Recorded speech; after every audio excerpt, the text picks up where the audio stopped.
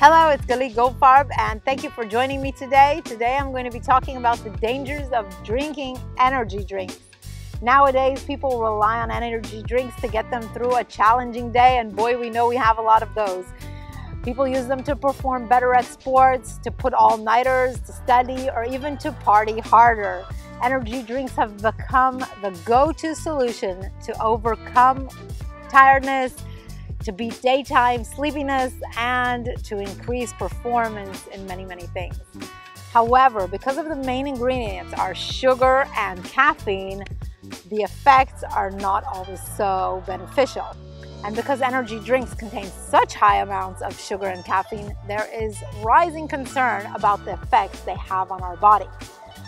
So what do energy drinks do exactly to the body?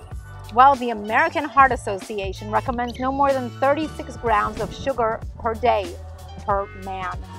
And if you look at the 500 milliliter bottle of Lucozade, it contains 62 grams of sugar uh, for this bottle, which is uh, almost twice the recommended sugar uh, daily allowance.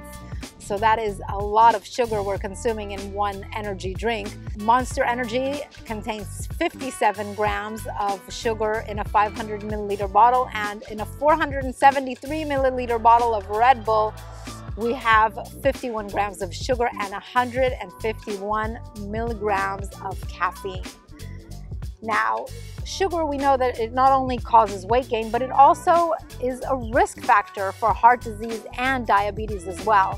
And while sugar does spike blood sugar levels and insulin, making us give us a high in energy, it quickly goes shooting down, resulting in a rapid decrease in energy levels, meaning that it's only for a short period that we have this energy rush from the sugar.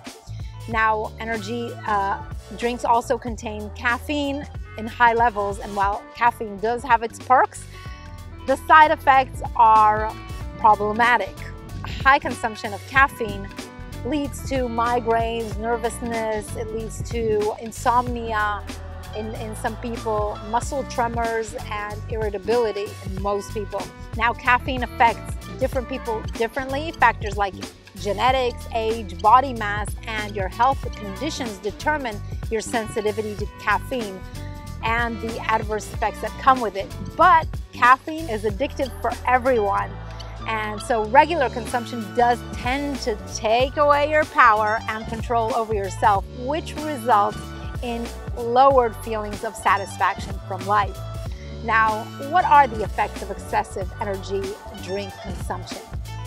From messing with your sleep to spiking your blood sugar levels and raising blood pressure and leaving you feeling less in control of yourself due to the addictive nature of this, these drinks. Consuming energy drinks also lead to other health problems. Because of its addictive nature, people become dependent on them and therefore drinking in moderation becomes somewhat difficult. The last decade has seen a large number of energy drink intoxications in hospitals and they lead to seizures in people and arrhythmias. A study on the rising consumption of energy drinks and its impact on the population health shows a link between energy drinks and cardiovascular conditions and metabolic conditions as well. Now, research also revealed the negative behaviors such as poor mental health, risk-seeking behavior in people that drink these energy drinks, and also some kinds of psychiatric disorders associated with the caffeine consumption. Research studies also looked at the connection between energy drinks and arthritis and also stroke. So while it's true that energy drinks do give people an energy jolt um, when they need it, these drinks are not entirely recommended and if you find it very difficult avoiding these drinks then do drink them in moderation. So I hope you like the content. If you did, give it a thumbs up and you may subscribe to my channel if you like this content on health and nutrition. If you want more and like the, the information here, please visit my blog at www.theguerrilladiet.com. Thank you very much for joining.